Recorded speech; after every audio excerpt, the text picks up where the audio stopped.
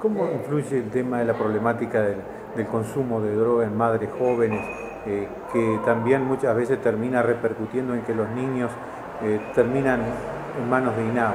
Yo diría, hace, si usted hacía un estudio hace 15, 20 años atrás, eh, la, el mayor, la mayor cantidad de niños que caían en el sistema de protección integral a través de, de alguna disposición judicial provenían de familias muy pobres. Se decía por carencias materiales, ¿no? condiciones de la, vivienda, etc. Hoy no tenemos problemas de hambre, no tenemos problemas de, pobreza extrema de ese nivel, de descuido con los niños, pero sí tenemos mamás que son, o papás, padres y madres, con problemas serios de consumo, la mayoría de ellos, eh, que no están en condiciones de cuidar porque su propia adicción no les permite tener los, cuidados adecuados y muchas veces terminan derivándose a las instituciones de protección como las nuestras. Eh, eso sí, hay, el, consumo abusivo de droga tiene una incidencia muy fuerte en la internación. Y tiene una incidencia indirecta muchas veces en los casos de explotación sexual y de violencia, que son efectos secundarios del consumo, pero que también están presentes.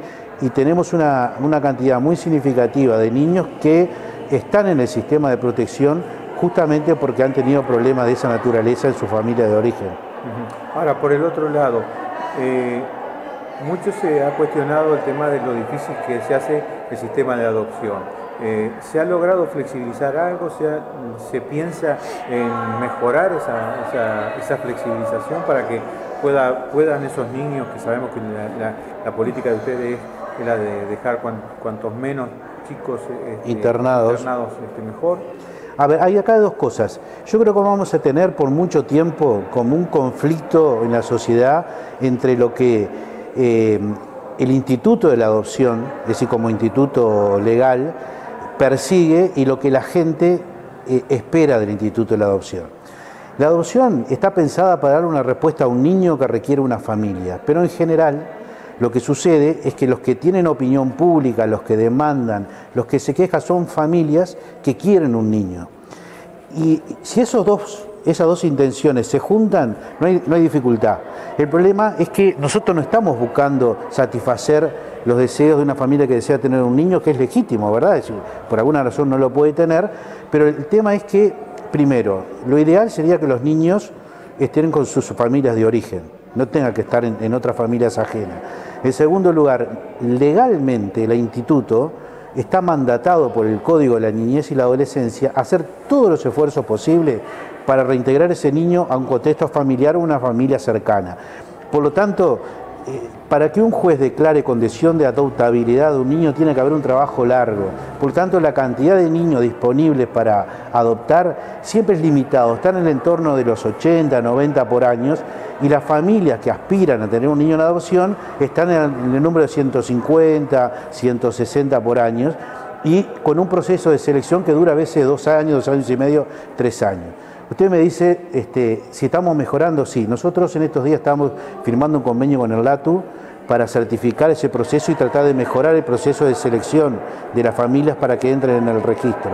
Eso seguramente nos va a identificar errores, nos va a disminuir el tiempo, pero yo creo que no, eso no va a resolver el problema, porque esto es un, eh, eh, voy a hacer una comparación eh, improcedente, pero para que se entienda. Es como algo de, como el mercado cuando tiene una oferta y una demanda.